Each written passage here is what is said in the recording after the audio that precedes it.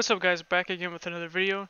Um, last episode we worked with command arguments and stuff like that, which is pretty cool, but this time we're going to expand on that and work with players. So let's say we want to kill a player, you know some servers have slash kill, so you could do like slash kill and then space the player's name as an argument.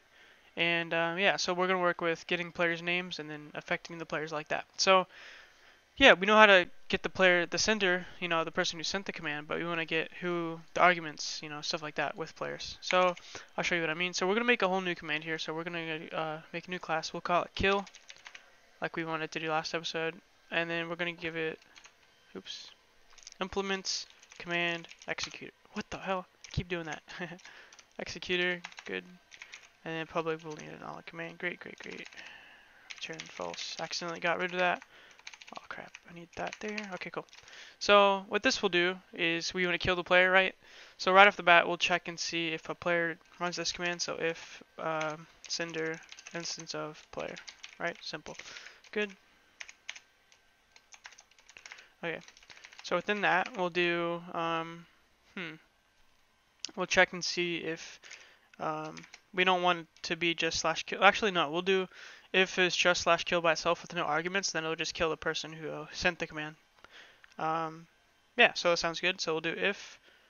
Actually, slash kill is already a command within within uh, vanilla Minecraft, I believe. But yeah, this should still work, you know. Um, so we'll we'll make it custom by setting a message every time you kill a player. So what we'll do is say um, we'll say if args uh, dot length is equal to zero then we'll say, um, oh yeah, we need to make a player, cast the player, you know, player, player equals player, sender, right? It'll do player dot send message. Oops, nope, that's not English. Player dot send message. Um, you have just killed yourself.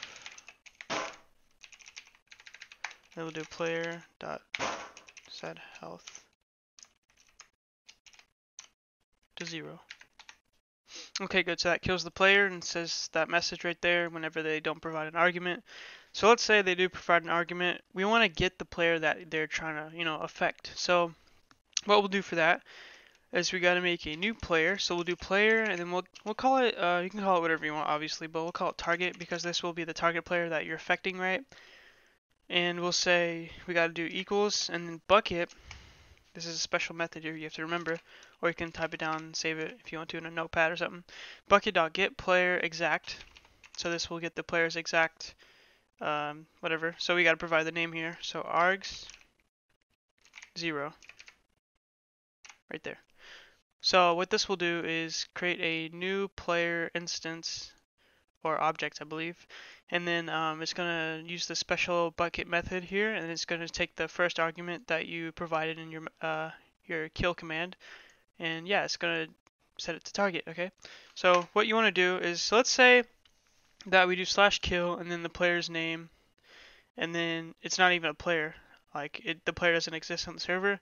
Then obviously we want to check for that. We don't want that to go wrong, right? So we'll do if target instance of player, just like we did up here. So if the player is a player, then um, we're good to go. If not a player, then uh, let's do player dot send message. You need to uh, kill a real player.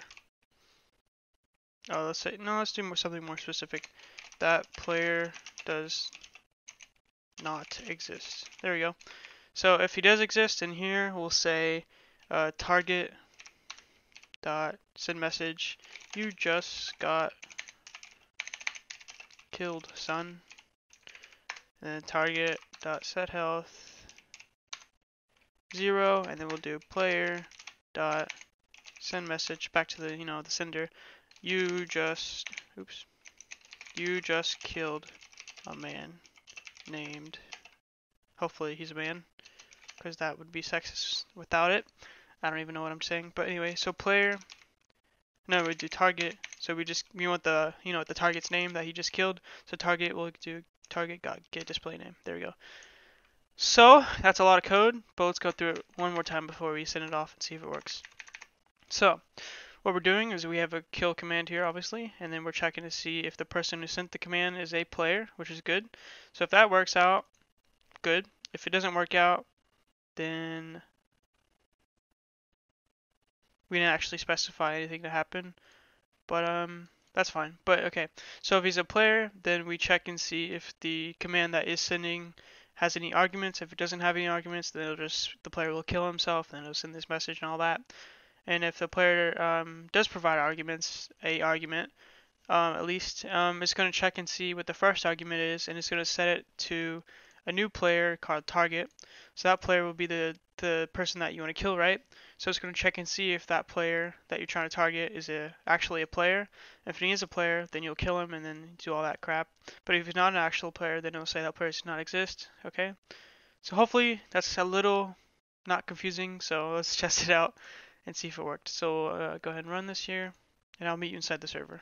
Okay, so we're inside the server now and we're going to check out our command, see if it works. So we'll do the first one where we don't provide any arguments, and we'll see if that worked out. So let's do slash, oh, it worked. Uh, I uh, didn't expect that to happen, I forgot. so yeah, it worked out, it killed me, and it sent that message, killed Illum, nope. Actually did not. That's weird. It must have conflicted with the vanilla Minecraft version of the slash kill. But anyway, let's provide a command and see if that doesn't work out. Uh, let's do slash kill. Oh wait, no, the problem probably is we didn't register our new command. That's probably why. So let's go into here, git command, kill dot set executor new kill. There we go. And we got to register it here too, of course. Kill description die. There we go. I'll be inside the server. So we're back. Let's try it out. Slash kill. And yeah, it says that you have just killed yourself. So yeah, it works. Good. This time it works. So now let's do slash kill, and then let's provide uh, a player that does not exist, and we'll see if that works. And good, it says that player does not exist. So let's provide our own name since no one else is on the server. And then yeah, it says you just killed a man named Illuminati. So that whole thing freaking works. That is amazing. And hopefully that feels good that you completed this if you did it with me. And yeah, so if you liked it, subscribe if you want to see more. Oh, wait, no, if you liked it, like the video if you want to see more subscribe. Um, if you want to join the description I mean join the discord it's in the description. And then uh, leave a comment if you need any help or join the discord of course. And peace